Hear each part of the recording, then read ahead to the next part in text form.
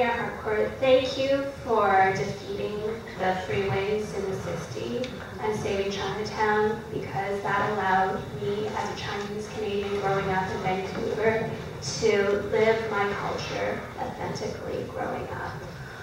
Um, so Chinatown right now is facing intense development pressures. Um, in fact, City Hall is also proposing policies that would allow for developments that are potentially half block wide.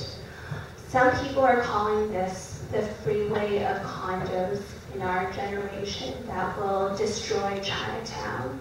So to both mayors, from your perspective, what is the importance of Chinatown to Vancouver? And where do you see the future of Chinatown? Yeah, well, I'll start, and thanks for the question on that. It's it is a really challenging circumstance because the City Council approved a, a Chinatown community plan uh, years ago, uh, and uh, about five five or six years ago, and that looked at uh, some new development in Chinatown.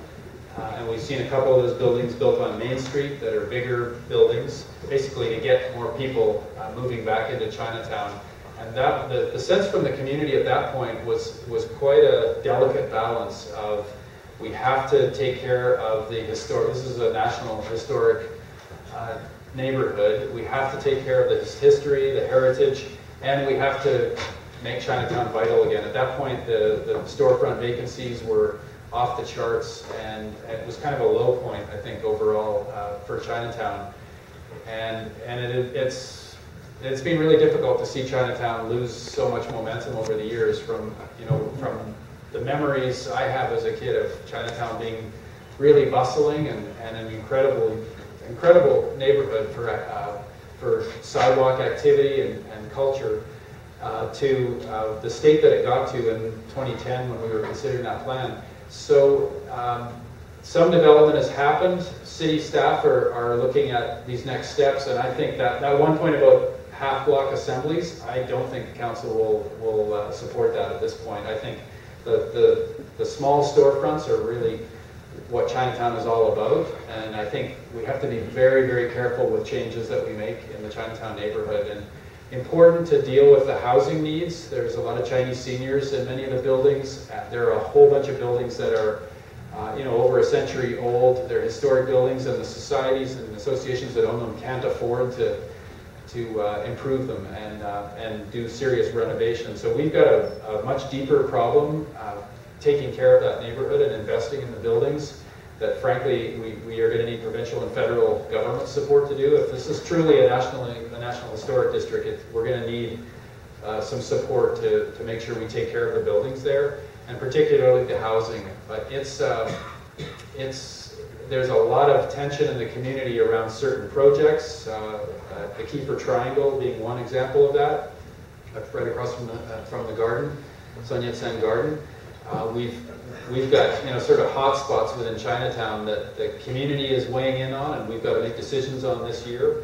And that overall plan that's uh, that's coming on the table with uh, how do we maintain the character and and get lots of activity. There's lots of great new businesses in Chinatown, great restaurants. There's a real revival going on, but there's also uh, you know a Starbucks on on Main Street now uh, that uh, much to the dismay of many uh, that does you know, there's real change in the character that's uh, that's at stake right now, and I know my council is very mindful of that, and we are going to be really careful with next steps, and and and expecting that there'll be lots of community engagement on this, that there, people have to be involved in helping shape this. So when we went through it in 2010, lots of people got involved, and I think we hit the mark in terms of a balance, but we're, we're at another juncture here where we're going to need lots of community input and make the best decisions we can for Chinatown and, and try to have more people, have more life, have more business, but uh, don't lose the, the magic of Chinatown.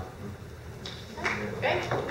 Just to reinforce that, uh, I, was at a meeting on Friday with uh, Frank Kaplan and I had a group called Building Community Society that Bill Long uh, helped uh, get off the ground. Mike Clague, who used to be the uh, executive director of the Carnegie Center. And I can reinforce what Gregory said. The staff are going to be, hear- they've heard the concerns about ruining the essence of Chinatown. Uh, And also the reality, you're not going to be able to have the Chinatown of old. That the Chinese community have basically gone elsewhere. Gone to Richmond, they've gone to Victoria Drive. Victoria Drive, they've gone elsewhere, Burnaby. Um, But the- it's still the heart and soul of Chinese culture in, in the region. And that heritage and cultural context is what we want to keep the essence of, particularly on the three and a half blocks on Pender Street and around the Chinese Cultural Center and the Dr. Sun Sen Garden, both of which need, they're getting a little uh, Yeah.